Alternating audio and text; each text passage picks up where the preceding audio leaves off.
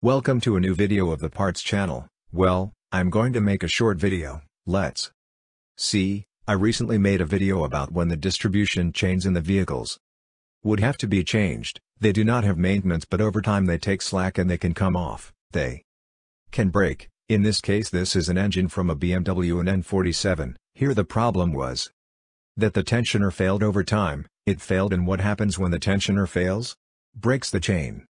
And well well, in the end with a costly engine breakdown, you have to remove the cylinder head but hey, it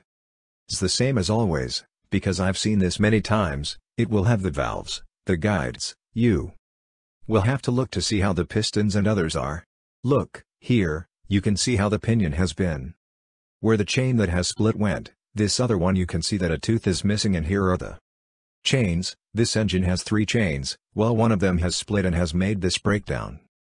The vehicle this in particular has little more than 212,000 kilometers, I I always say, as I say, I am going.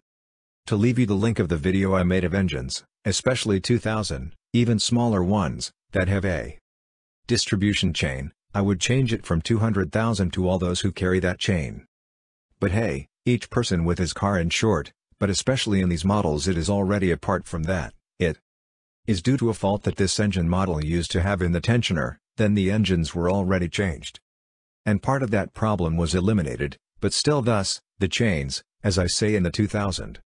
engines from 200,000 kilometers, it would be necessary to think about changing them, well, here is the video if it has been useful for you, do not forget to give a like and subscribe to the channel.